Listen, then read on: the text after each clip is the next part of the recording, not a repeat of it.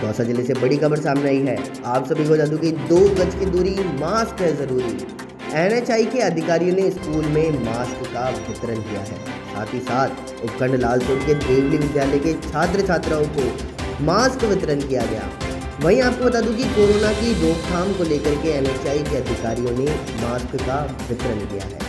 वहीं infra engineering limited company के manager Radheshyam Sharma, राष्ट्रीय सड़क सुरक्षा माह के दौरान बच्चों को मास्क का वितरण किया गया। साथ ही दिल्ली के विद्यालय परिवार ने कंपनी का आभार भी जताया